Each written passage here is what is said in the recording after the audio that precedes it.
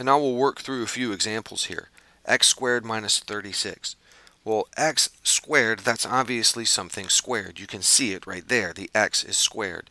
This is something squared also. You recognize 36 as a perfect square. It's 6 squared.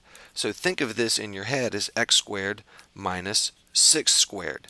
And then it factors as x plus 6, x minus 6. And you can always check with a FOIL. If you do a first, outer, inner, last, the first gives you x squared, the outer terms gives you give you a minus 6x, and the inner terms give you a plus 6x, and then the last terms, 6 and negative 6, when multiplied give you a minus 36. And when you cancel the negative 6x and the positive 6x, you can see right there, x squared minus 36, our original expression. So it's been factored. Example 11, 16 minus a squared. Think of this in your mind as 4 squared minus a squared.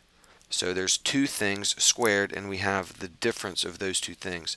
So 4 squared minus a squared will factor as 4 plus a, 4 minus a.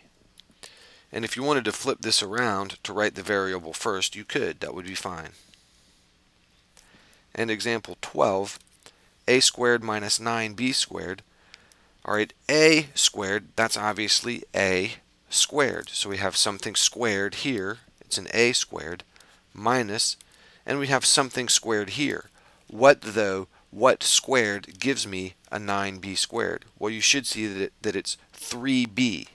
This second term here is 3b squared.